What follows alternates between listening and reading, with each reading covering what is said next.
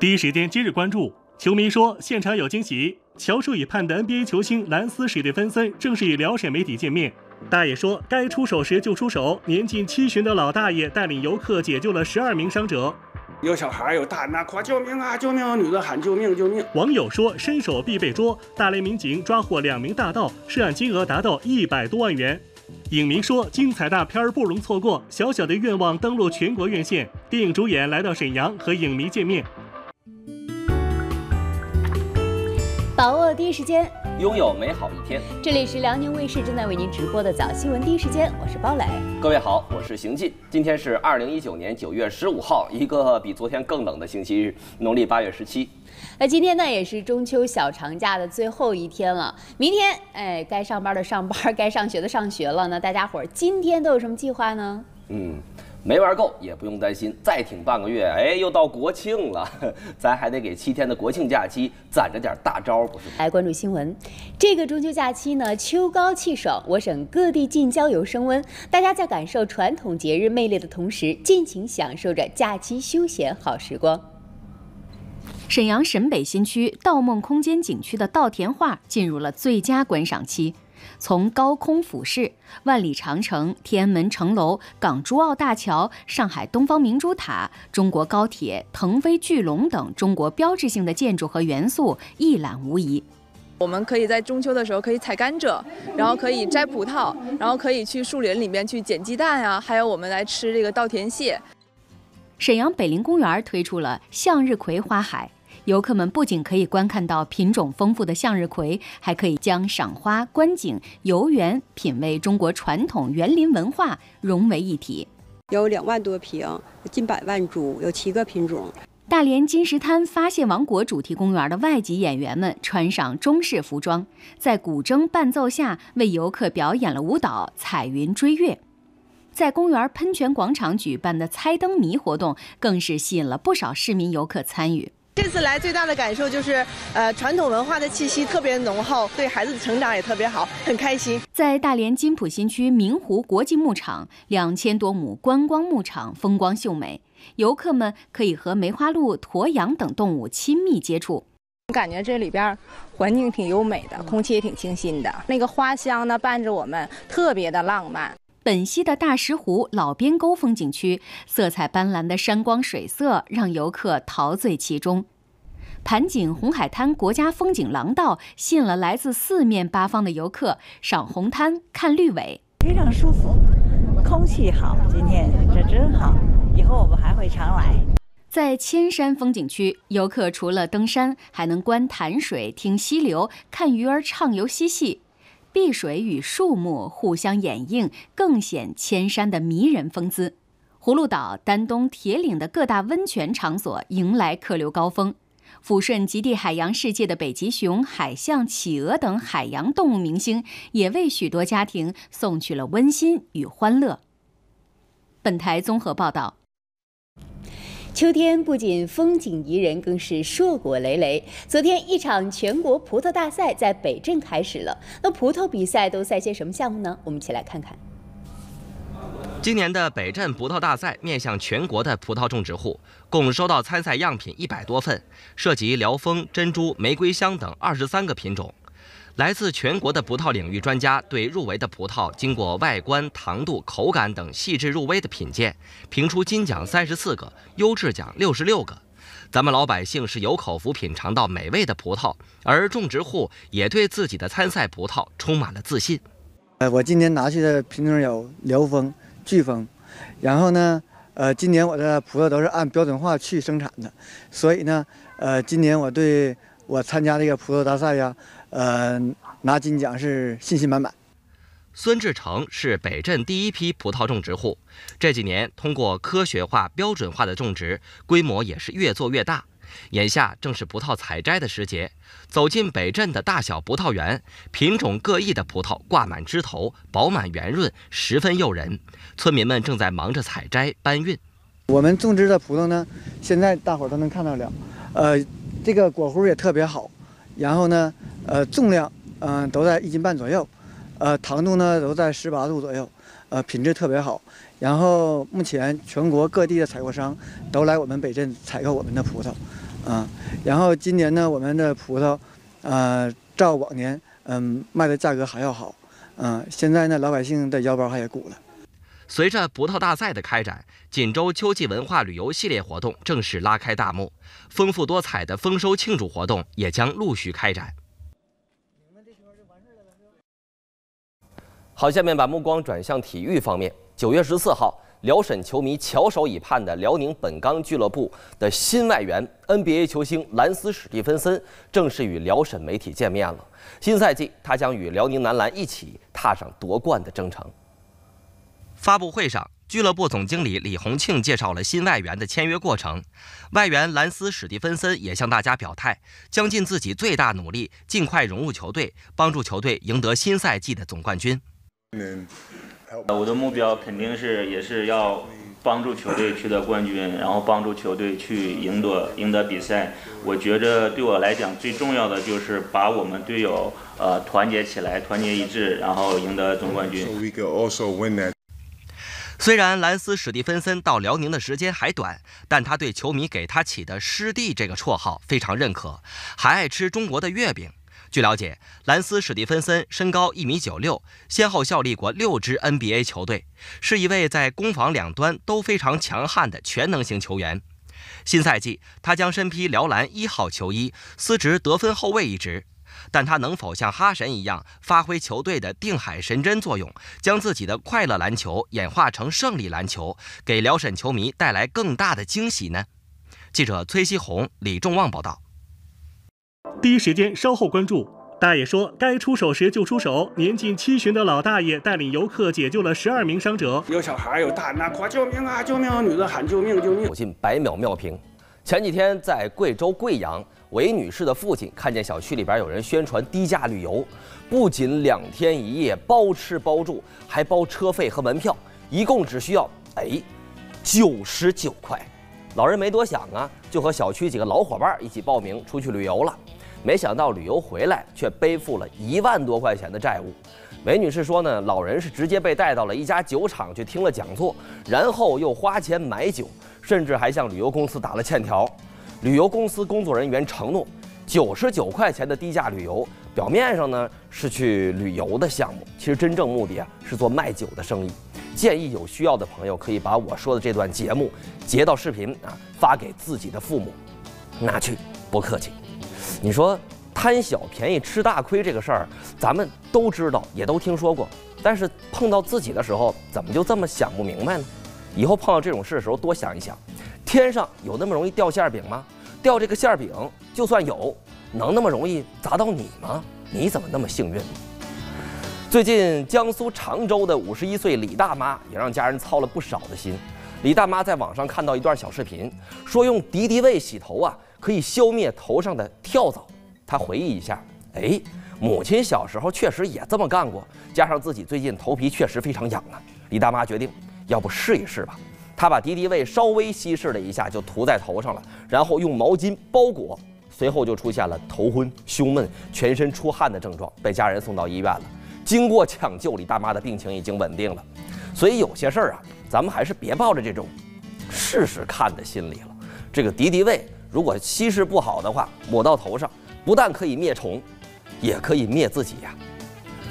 近日呢，烟台高速交警支队的民警在视频巡查中发现，沈海高速应急车道内竟然有人在摆摊儿，还摆在了交警大门的附近。呃，小伙呢打起遮阳伞、宣传牌，把一条刚宰杀好的驴大腿挂在路边招揽顾客，着实是惊呆了民警啊。问他原因，小伙说。我我看收费站这车辆挺大的，这不摆摆个摊儿，地点不错吗？最后他被罚款了二百元，记六分。小伙子这摆摊的思路，难道是他认为这最危险的地方就是最安全的吗？接下来这位也是想法上出现了偏差。今年三月，美国爆出了涉及耶鲁大学、斯坦福大学等八所名校的招生丑闻。近日，呃，曾出演《绝望主妇》的女星霍夫曼就为此案获刑十四天。她也是本案中首名获刑的家长。霍夫曼承认，曾经花费了一万五千美元修改长女的考试答案，帮助她进入南加州大学。霍夫曼必须在十月二十五号到监狱报到。此外，他还被罚款三万美元，为社区服务二百五十小时。这位母亲看来是剧里剧外都为孩子操心，真正做到了扎心人戏合一。好，我们继续来看新闻。现在啊，网络上有很多健身减肥的网红，大多呢都是年轻貌美、身材赞的小仙女或者是小鲜肉们。不过，加拿大最近有一位网红啊，刷新了大家的印象，人家是一位七十三岁的老奶奶。老奶奶健身了两年多，减掉了整整二十七公斤。我们快来看一看这位励志老奶奶的故事。加拿大七十三岁的乔安曾经重达九十一公斤，丰腴的身材让她饱受疾病困扰。为了改善身体状况，两年前，乔安在女儿的健身指导下，每周运动五天，成功甩掉了大约二十七公斤的赘肉，健康状况也得到了明显改善。最近，乔安在网上开设了专栏，分享减肥的心路历程，收获了一大批的粉丝。乔安奶奶并没有因为现在的成就就松懈，每天继续进行高强度的训练来维持自己的体态。现在的乔安已经是个有着健美身材的超级奶奶了。乔安表示：“你没有办法让时间倒转，但是你可以重新为它上发条。”看到自己减肥前后的对比照片，乔安说：“跨越难关，收获的是满满的成就感。我并不完美，但我真的很努力。看看乔安奶奶，你还有什么理由不努力呢？”七十多岁的老奶奶都能把身材管理的这么好，你说咱们年轻人还有什么理由放飞自我呢？赶紧向老奶奶学习，运动起来吧！对自己啊要严格，对他人呢就要多一点善意。当伤者命悬一线，乘坐幺二零赶往医院救命的时候，却遭遇堵车，他的家人会是什么样的心情呢？四个字：心急如焚。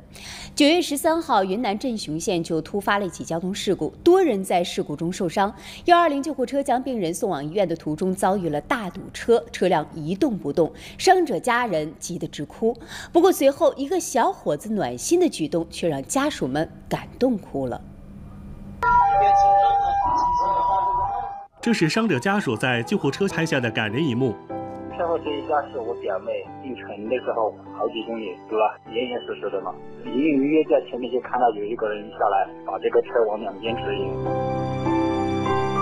最后很感人的一幕就是说，有一个私家车就跟随我们的幺二零车一直走，后面他看到了，他很生气的去去把那个私家车逼停到那边，让后面那辆幺二零和我们一起，然后他又跑到前面去求救。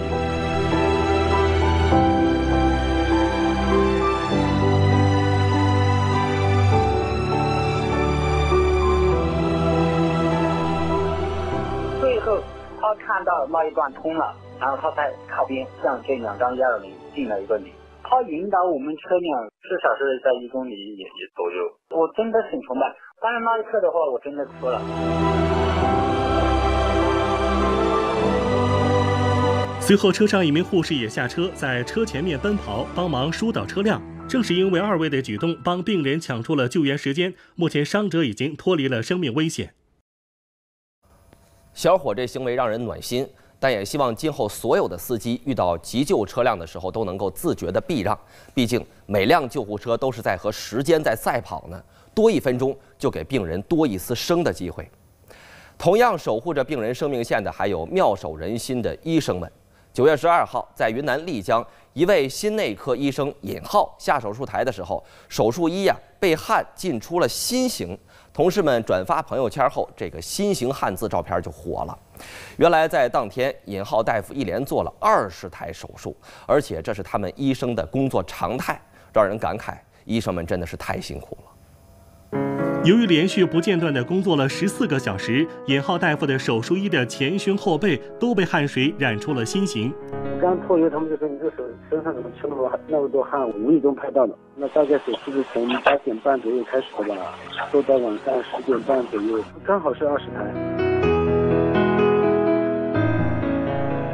最多的一次是好像是可能是二十四台，从早上七点半的话就一直做到第二天凌晨嘛，就在导管室过的新年嘛。除了手术以外，我们还有好多急诊嘛，这都是常态啊。那他们都确实一直都很理解我。大女儿也三岁多了，就每天都说的就是爸爸怎么还不回来，爸爸怎么还不回来？不管做到几点嘛，反正家里的灯肯定是开着的。然后我回去以后，我老婆和我妈肯定是会起来看我。没没有他们这样支持的话，估计这样做不下去了，真的太忙了。尹浩大夫说，本来中秋节是休息的，但他回病房巡查时有加班做了几台手术。尹大夫这是将自己的诚心和爱心化作汗水，印在了自己的工作服上，为他们的辛苦点赞。对医生们来说，这样的辛苦啊，可能是每天工作的常态；但是对于患者来说，这是一次又一次生的机会。感恩每一位医生的付出，也希望大伙对医生都能多一些理解。嗯，今天的赞呢，还得送给下面的这位大爷一个哈。有那么一句话叫“路见不平一声吼，该出手时就出手”。前不久呢，在甘肃连霍高速酒泉段发生了一起车祸，有一辆满载西瓜的大挂车突然就失控撞向了隔离护栏。就在这时，紧随其后的一辆中巴躲闪不及，撞翻了失控的大挂车，自己也翻了车。就在这个危急时刻，一位年近七旬的老大爷英勇出手，带领其他路过的游客解。救了事故中的十二名伤者，而这位英勇救人的老大爷正是咱们辽宁沈阳人。这位沈阳好大爷名叫卜庆平，今年六十七岁，退休前在沈阳移动公司工作，是工程建设部的一名管理员。事故发生时，他正跟家人在甘肃旅游，大车先出现事故了，后边是中巴。追尾追上了，中巴里头有十一个人，应该是大挂车一个人，十二个人应该是哭喊，有小孩有大人呐，夸救命啊救命！女的喊救命救命，本能吧，因为看到这种情况呢，肯肯定要得去伸手搭救。车祸现场汽油柴油满地横流，一旦遇到火星，很容易引爆汽车的油箱，而十二名伤者又全部被困不能动弹，一名女子被车轮压住了腿，车内还有一名几岁的孩子被重物压得失去了意识，用用用撬。把孩子抢救出来了，把小孩抱出来，满脸血葫芦似的。完这底下这个女的还老喊：“救命啊！救命！快救我！”在卜大爷的感召下，又有不少好心人陆续加入了救援的队伍。可任凭大家怎么使劲儿，也抬不动车，没法救出被压在车下的女子。推车，他就喊推车，然后呼家上来一帮人，然后去推那个车，一二三，然后拉完之后，然后车起来，这边人把这拽出来了，人都出来了，没问题，全场的掌声，当时特别感动，我已经看傻了，没见过这事儿。在大伙儿的共同努力下，终于救出了所有被困人员，然而危险还远没有过去，因为肇事阻塞了交通，救援车辆迟迟无法到达现场，于是卜大爷又立即忙着疏导过往车辆。没想到我喊一嗓子。大家都能上来，关键时候都能冲上去。不管遇到多大事儿，中国人啊，这个团结精神还是在的。交通恢复，救护车赶到后，卜大爷一家也离开了现场。直到当晚，甘肃媒体报道所有伤者平安无事，卜大爷悬着的心才终于放下。事后，卜大爷英勇救人的正能量被多家媒体报道。卜大爷说，他之所以会这么做，源自于良心，更源自军人本色。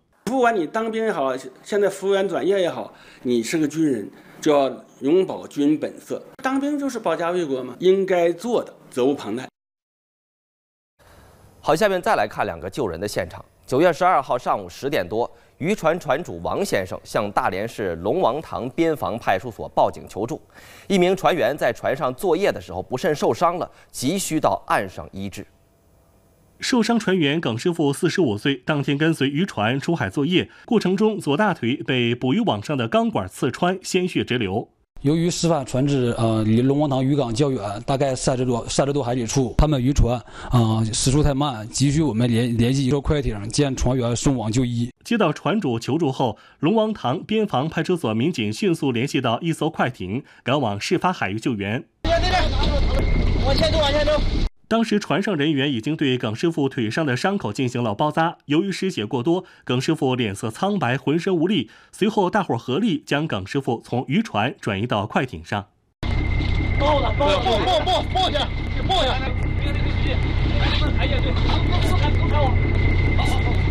小一点啊，小一点。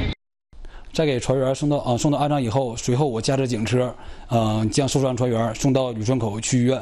到医院后，医生立即给耿师傅进行了手术。虽然大腿受了贯穿伤，好在没有伤及要害。不幸中的万幸的是没有碰到骨头，没有伤到大动脉。昨天也做完手术了，现在在医院住院恢复当中，没有这个生命危险。大连的耿师傅算是平安脱了险。丹东的一位建筑工人在中秋节当天，也是在民警的帮助下顺利到了医院。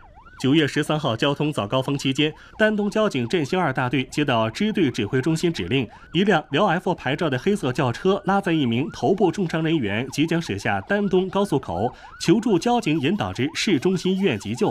时间就是生命，大队立即启动应急预案，指派在附近执勤的辅警杜鹏立即驾驶警用摩托车前往花园路迎接。七点三十三分，杜鹏在花园路金东加油站路口附近发现求助车辆驶来，立即开启警灯警报器，驾驶警用摩托车在前方为其开道引导。锦山大街沿线执勤警力协同配合，迅速开辟一条急救通道。在高峰期车流密集、交通压力巨大的情况下，仅仅用时五分钟，便顺利将伤者护送至市中心医院。杜鹏又帮助将伤者送至急诊室救治。经了解，伤者叫唐某，在一处工地干活时不慎被砸伤头部，血流不止，被工地负责人驾车送往丹东急救。唐某经急救，现已脱离危险。第一时间稍后关注。影迷说，精彩大片不容错过。小小的愿望登陆全国院线，电影主演来到沈阳和影迷见面。网友说，伸手必被捉。大连民警抓获两名大盗，涉案金额达到一百多万元。九月十四号上午，由辽宁出版集团、辽宁广播电视集团、辽宁省朗诵艺术协会主办，北方图书城、辽宁人民出版社、辽宁美术出版社、俯视雷锋纪念馆承办的辽宁宋雷锋迎国庆争做先锋少年诵读大赛选拔赛，在全省各市同步开赛。十四号、十五号为期两天的选拔赛，共吸引了全省千余名学生报名。同学们在现场诵读《你的样子》《雷锋我们需要你》两本图书的选段，热情高涨，展示了当代雷锋精神面貌。据了解，经过两天的选拔后，组委会将在全省选出三十名优秀选手，参加九月下旬举办的总决赛。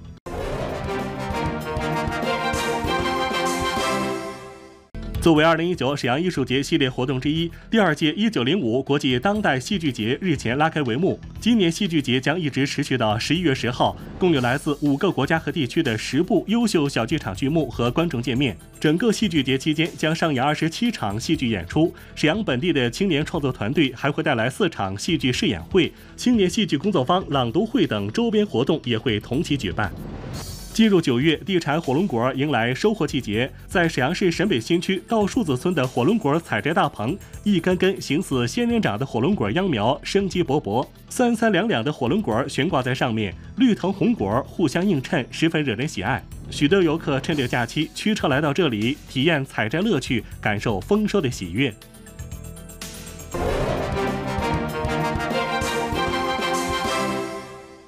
在大连，一座寓意圆圆满满、阖家幸福团圆的由六千六百六十六公斤普洱茶组成的东北第一茶柱，经七天七夜长途跋涉，在中秋节落户大连星海广场一区。茶柱直径二点二米，高二点四米，重六千六百六十六公斤，取六六和顺庆团圆之意。长假期间吸引众多游客前来观赏。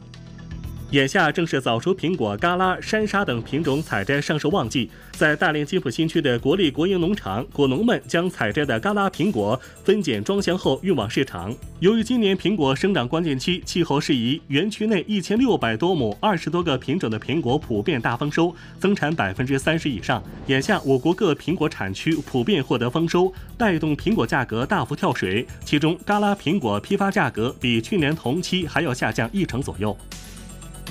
辽阳有两千多年的历史，是辽宁乃至东北历史最悠久的城市。新中国成立以来的七十年，古城焕发出新的青春。我们国家第一台制药机械设备在这里下线，第一块的确良在这里支出，十多万户民营企业蓬勃发展，跨河而立的城市愿景变为现实。壮丽七十年，奋斗新时代特别报道，行进辽宁，我们一起走进辽阳。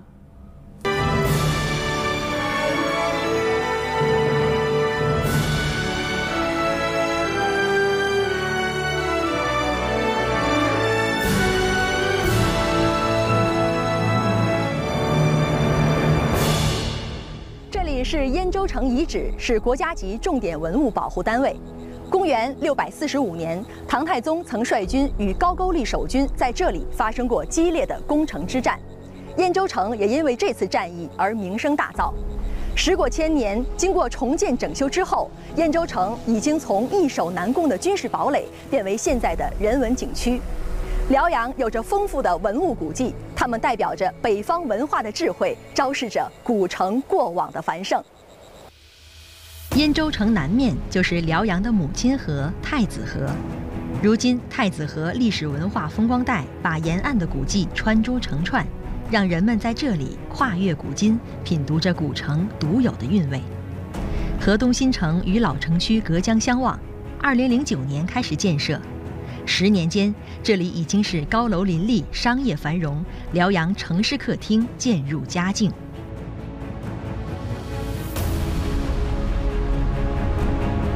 河东新城的建设拉开了辽阳新的城市格局，老国企辽阳石化则实现了华丽转身。我身后的这个装置是辽阳石化方汀县扩能改造项目，这个项目从上个月开始刚刚投产使用，投之后对二甲苯、磷二甲苯的产能将实现每年一百万吨和十四万吨。这两种产品是纤维和塑料的主要原材料。这个项目为辽阳石化控油增化和推进从燃料型向材料型的转型升级奠定了坚实基础。辽阳石化是上世纪七十年代国家建设的四大化纤基地之一，新中国第一家生产出的确良原料。这家大型国有企业经历连续十二年的亏损，终于通过大刀阔斧的改革，二零一七年实现扭亏为盈。牢记习近平总书记嘱托的“当好共和国的种子队”，辽阳石化阔步前行。去年销售收入同比增长了百分之四十七，今年上半年销售收入又同比增长了百分之二十以上。以国有企业辽阳石化和民营企业中旺集团为龙头。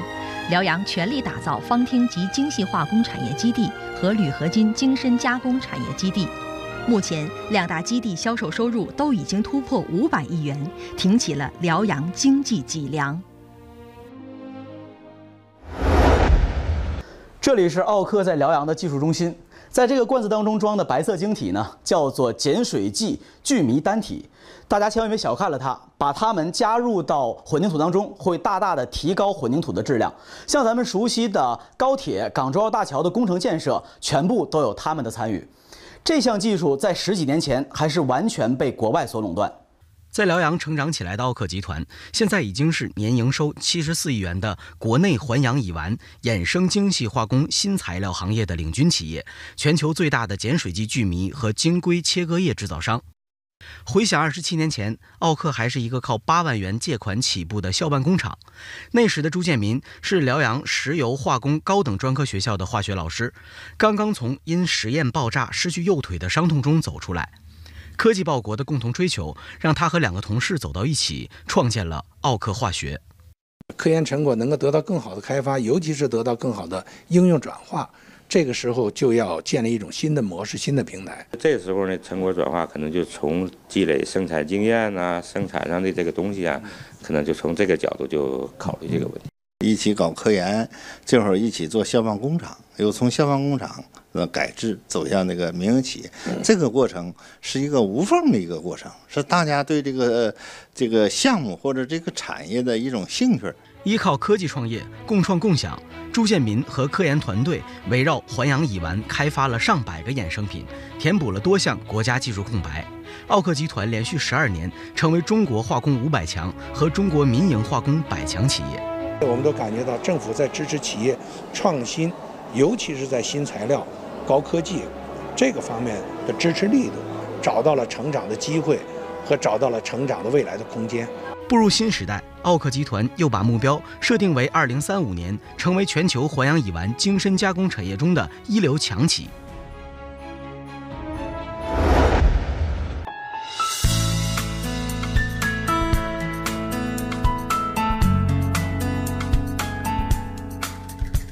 辽阳灯塔市的辽丰小镇地处国家级现代农业综合示范区核心位置。三年前，这里还是一片玉米地，如今已经拥有了八个现代特色农业示范园。日光温室和冷棚种植出的南方精品水果和花卉，每年吸引大批游客采摘观光。尤其是全国独有的辽丰葡萄。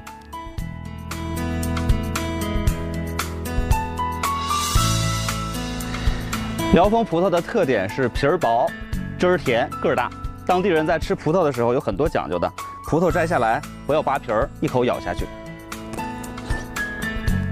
你会发现啊，这个香脆的果皮和果肉完美的结合在一起，嘴里面不会有任何的撕裂感。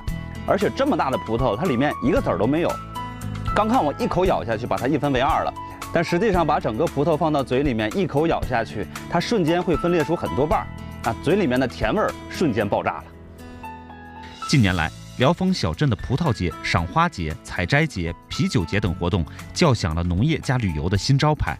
而同二铺皮草小镇则积极转型升级，依托电商平台赚足了互联网人气。这里是同二普海宁皮革城的电商直播中心。今年七月份，这里正式运行了。走进这家店铺，其实跟我们以往啊在普通的商场里面看到店铺没有太大的区别。不过您看这边，店主们现在都在用直播平台跟顾客们进行交流。这边来。那现在呢，我就走到了这个主播的直播间里面。大家好，呃。我们来看一下，现在一点半的时间，一共有十四个人在收看直播。那其实到了晚上的时候呢，这个人数能够达到五百到一千人。这个人数是一个什么样的概念呢？就相当于有这么多人同时走进了这家的商铺。那店主们呢，只需要一对多的向大家来介绍自己的商品就可以了。那这样的经营模式已经成为了这里的新常态。现在，同二普已有两千多家商户加入电商平台，淡季的销量逐年攀升，实现了买全国卖全国。辽阳也已经形成特色小镇培育体系，同二普皮草小镇和工厂岭温泉小镇入选了国家级特色小镇。特色小镇建设正在带动着辽阳的一二三产业融合发展。壮丽七十年，数字看发展。一九四九年，辽阳市地区生产总值只有八千万元，到二零一八年达到八百六十九点七亿元。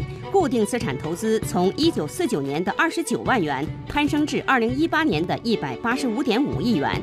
公共预算收入由一九五二年的五百一十五万元提升至二零一八年的八十九点四亿元。二零一八年，辽阳市社会消费品零售总额达到二百九十九点二亿元。钱袋子鼓起来了，老百姓的生活也更有奔头了。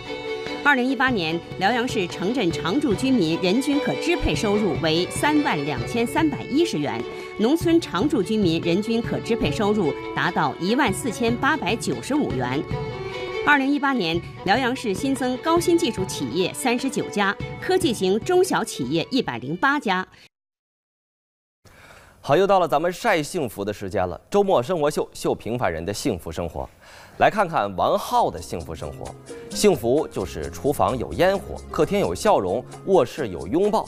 每天早晨为老公准备丰盛营养的早餐，老公吃了满足，我也觉得幸福。上周末，观众杨红在沈阳马拉松现场拍了不少照片，有母子组合，有开心的一家四口，还有自拍全家福的，还有组团跑马的。呃，不管是组合啊什么样，但是笑容全都是一样的，跑出健康，跑出快乐。海城观众黄桂礼七十二岁了，退休以后不甘寂寞，自学了简易 PS 技术和视频制作，为枯燥无味的退休生活增添了不少乐趣，跟大家分享。哎，看看他几张学习成果，还可以啊。本溪网友啊，老爷子拍下了太子河上的白鹭。每年春天，白鹭来北方繁衍后代，秋季就在太子河畔栖息了，抓小鱼小虾充饥，补充营养，提升体能。十一前后就会离开山城本溪，飞往遥远的南方过冬了。每年相约都是美好的回忆。照片定格精彩瞬间，视频记录日常幸福。欢迎参与周末生活秀，您可以关注第一时间公众号，发送“生活秀”加图片和您想说的话，也可以发送到生活秀的邮箱，期待您的参与。那同样的生活呢，有不一样的过法。有的人啊是过成了一首诗，每天悠闲惬意，静听落花流水，坐看云卷云舒；而有的人啊却把生活过成了警匪片，整天是提心吊胆，东躲西藏。六号下午，大连市西港公安分局的民警抓获了两名大盗，两人在全国多地合伙作案一百多起，涉案金额达到一百多万元。马先生住在大连西岗区一个老旧小区。二号白天，他家进了贼，价值两万多元的财物被盗走。早晨走前那个市场走，完事儿那个晚上回家前那个门锁也没有异常啊。找东西时发现家里被盗了。一段时间以来，大连市多个老旧居民区发生盗窃案，这些小区没有安装监控摄像头。民警调取周边道路监控，发现多个案发现场周边都有两名男子出现。在马先生家被盗时间段，这两名男子再次出现在附近。两名嫌疑人在来的时候，手上和身上都没有任何东西。那么在离开的时候，其中一名嫌疑人身上多了一个黑色的背包，恰恰被害。人描述丢失了一个黑色的双肩背包，那么从而我们就确定二人应该就是我们要寻找的这个嫌疑人。嗯，掌握两名犯罪嫌疑人的体貌特征后，呃，我们与全国违法犯罪嫌疑人库进行比对，通过与有前科的人员进行比对，核实出两名犯罪嫌疑人分别为刘某和罗某。九月六日下午。呃，我局民警在大连市甘井子区一商场内将两名犯罪嫌疑人抓获。这包是你偷的是吧？嗯。这个手机和这个电脑是从哪偷的？来，在那个原原件园那块。犯罪嫌疑人刘某今年三十六岁，河南人，曾有两次盗窃犯罪前科。犯罪嫌疑人罗某今年三十五岁，广西人，曾有三次盗窃犯罪前科。两人服刑时认识，今年相继获释，合伙干起了老本行。民警了解到，除了在大连市，两人还曾流窜多地盗窃。呃，经我们初步核实，两人流窜三省七市，呃，作案一百余起。呃，仅在我市，呃，作案有就有几十余起，呃，涉案金额达百余万元。刘某和罗某涉嫌盗窃罪，现已被我局依法刑事拘留。大盗本领再大，也翻不出警察叔叔的五指山。奉劝一句，二位还是改过自新吧。勤劳致富靠双手，但伸手出去偷盗，最终坑的那还是自己呀。您说是不是？好，稍事休息，第一时间马上回来。第一时间稍后关注。影迷说，精彩大片不容错过。小小的愿望登陆全国院线，电影主演来到沈阳和影迷见面。昨天上午，首届本期水洞杯全国少年儿童首届征文大赛圆满落下帷幕了。本次大赛历时两个月，最终有六十篇优秀征文分获一二三等奖。本次大赛由辽宁省儿童文学学会组织，新少年、小学生报、文学少年、少年大世界、小学生优秀作文五家少儿报刊共同举办。自六月中旬开始，八月中旬结束，历时两个月。共收到来自全国十几个省市的三万余篇征文，经过多轮筛选，大赛组委会共评选出一等奖十人，二等奖二十人，三等奖三十人。把自己的真情投入进去，我也不求得奖，但是得奖了真的很开心的。谢谢学校和老师给我们小学生这次机会，让我们小学生用自己的小文章来表达对祖国妈妈的热爱之情。本次大赛围绕“谁不说俺家乡好”“听妈妈讲过去的事情”等主题，全方位展开我和我的祖国童年视角讲述。征文涵盖了散文、童话、诗歌、寓言等多种文学形式，充分展示了少年儿童的写作能力。实际这次征文比赛主要就是给孩子们提供一个平台，展示自己记忆、思想表达，包括对社会、对生活。对自己的内心的一种重新定位和发现，就是鼓励孩子们多与现实、多与生活发生关系，鼓励他们今后以更好的方式，尤其是文学方式，展现我们这个伟大的新时代。记者孙飞、张宏民报道。现在的孩子真是了不得哈，口才不错，文笔不错，才艺也不错，比我们小的时候可强多了。琴棋书画信手拈来，十八般武艺是样样精通。希望孩子们都能够学有所成，快乐的成长。可以说每个人啊都有自己的愿望。前两天呢，有一部很不错的电影在全国院线登陆了，名字就叫《小小的愿望》。昨天，电影主演魏大勋、贾冰这对诙谐父子档来到沈阳，与影迷们见面了。这部影片以三个好朋友为核心故事，讲述了十八岁的少年高远因绝症即将离世，死党徐浩和张正阳得知噩耗后，决定帮他圆梦。随后三人开启了一场啼笑皆非的圆梦之旅。说到笑点，不得不提到剧中的一对诙谐父子档，魏大勋、贾冰扮演的张氏父子。作为东北老乡，两位主演带着自己的作品和影迷们分享了他们的故事。就是因为我觉得贾冰老师特别松弛，然后演的也特别好，然后就是真正的那种戏骨，然后我其实在他身上学到了不少，啊，包括我们这种即兴的碰撞，这种演技的碰撞，非常的开心，擦出了很多火花。演一演技与技的碰撞。除了父子情，电影里最抓人眼球的要数兄弟情了。在片中，两位死党徐浩和张正阳为了高远的愿望花尽心思，闹得笑料百出，角色友谊真切。影片外也有着属于他们之间的片场回忆。其实拍这个电影，我们几个主创还有导演，其实我们是有着非常深厚的一个篮球情节的，就包括我们一开始。就是什么小人物上篮啊，其实大家都对于篮球，但对于可能对于灌篮高手，对于篮球都非常非常喜爱。电影《小小的愿望》已在全国上映多场，每一场都让观众们笑中带泪。就让我们一起走进电影院，去看看他们的小小愿望吧。不知道大伙儿有没有遇到过这种情况啊？内急跑去公共卫生间，却发现手纸箱竟然空空如也。遇到这事儿也是挺闹心啊！最近呢，四川宜宾长宁县的一间公厕提供的免费厕纸持续多日大量失踪，工作人员调取监控一看，好嘛，这手纸刚装上就被人薅走了。